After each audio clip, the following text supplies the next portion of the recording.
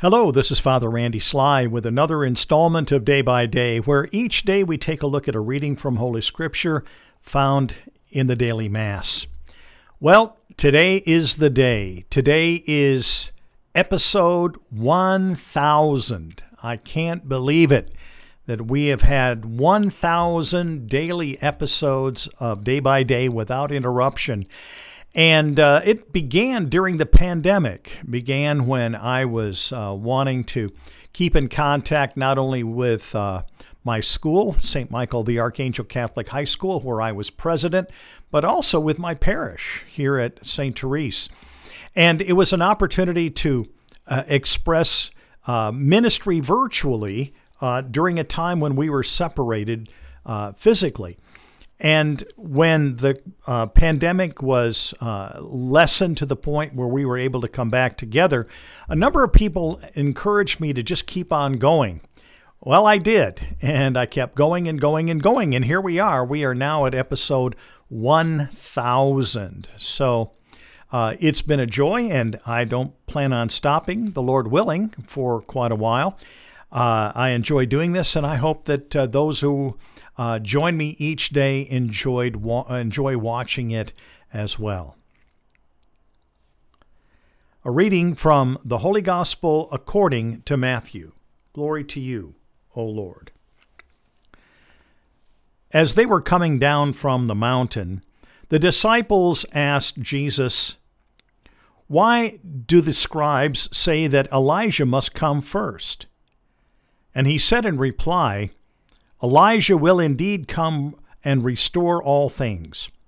But I tell you that Elijah has already come, and they did not recognize him, but did to him whatever they pleased.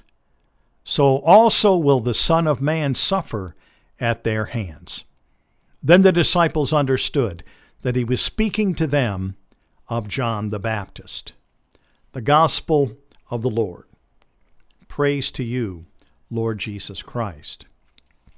Well, this passage is really uh, a time where the disciples are asking Jesus about a prophetic pronouncement that is found in the Old Covenant. In fact, in fact, by Malachi, who was uh, the final Old Testament prophet uh, until the coming of Christ.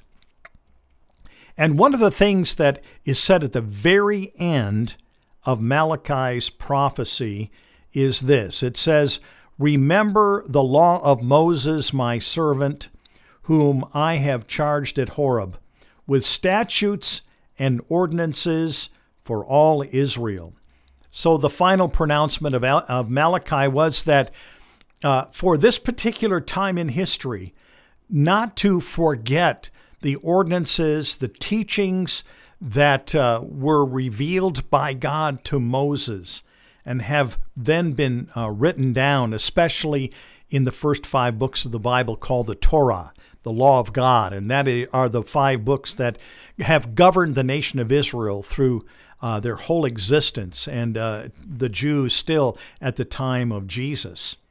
And Malachi goes on to say this. He says, Now I am sending to you Elijah the prophet before the day of the Lord comes, the great and terrible day. He will turn the heart of the fathers to their sons, and the heart of sons to their fathers, lest I come and strike the land with utter destruction. And so, what we have here is the prophecy by Malachi that indicates that God is going to send Elijah the prophet. Now, Elijah in the Old Testament has already come and uh, was, as you remember, was taken up into heaven by a fiery chariot. And he was quite a spectacular prophet in, in how he looked and what he said. He is considered the prophet of the Old Testament. And you may remember that in the Transfiguration, uh, the law and the prophets were symbolized or represented, would be a better way to describe it, by two individuals that appeared with Jesus Moses and Elijah, the law and the prophets.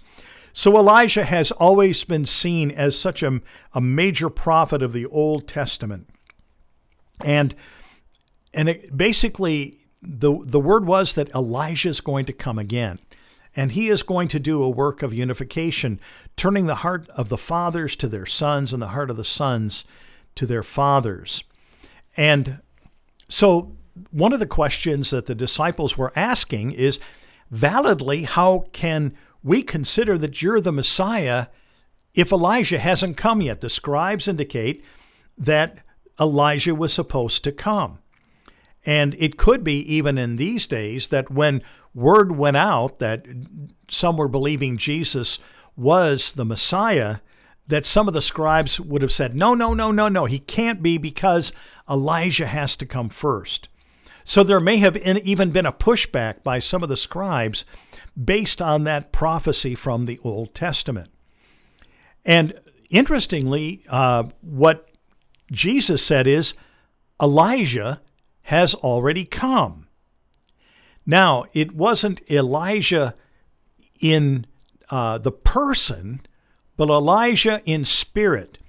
Just as Elijah was there to stir up and to call up uh, people to follow the works of God and to be a part of the kingdom, uh, and was a prophet at a time when uh, basically uh, the the nation was under siege, and uh, this was a time when uh, they were under siege not so much by outside forces as much as by interior decay. That uh, their their spirituality was basically uh, destroyed, and uh, so Elijah the prophet comes, and it's at that point that he defeats the uh, the priest, uh, the prophets of Baal on Mount Carmel, and all of those things taking place. Well, just as this happened at that time in history, here in the time of Jesus, a new Elijah arose. And as they came to understand, that was John the Baptist. He looked a lot like uh, Elijah. He, they were dressed very much the same way, and they had the same kind of ministry, calling a nation back to repentance that had strayed vitally from what uh, God really intended for his people, his covenant people. And so today, as uh, we think about uh, our own preparation during Advent, this question again um, why do the pro- uh, scribes say that Elijah must come first? In other words, can we really have confidence that Jesus is who he said he is, that when he came as a child in the manger, that at that moment a Messiah had come into the world, and that that same Christ who came into the world would come again. And if Elijah was supposed to come first, what do we believe? Well, Jesus confirmed it. John the Baptist was the same as Elijah. And he was going to come, as he did come, to turn the hearts of the fathers to the children, the hearts of the children to the fathers. And what this is really doing is the, the calling of the sons of Israel, the sons of the covenant, uh, to back to their roots. That's what this repentance call and baptism was all about. Um, at this point, of course, the entire nation of Israel was no longer unified, and we had uh, the uh, 10 tribes had basically been distributed into the Gentiles, and we have now Judah and a small part of uh, Benjamin that were left. And so uh, at this time, it was John the Baptist as the forerunner calling people to repentance, to return to their roots calling the fathers to the sons, calling the sons to the fathers, kind of a reunification of covenant before the coming of the Messiah. So, uh, are we on the right track? Absolutely. Everything that was foretold has come to be, and we can have confidence that God truly has visited us in the person, the incarnation of Jesus Christ. So may the words of my mouth and the meditation of our hearts together be acceptable in your sight, O Lord, our strength and our Redeemer. Amen. Well, I guess we're on to another milestone. Tomorrow will be episode 1001. So off we go. But uh, again, I have truly enjoyed being a part of uh, this daily podcast, and I hope that you also have really enjoyed it. May Almighty God bless you, the Father, the Son, and the Holy Spirit. Amen.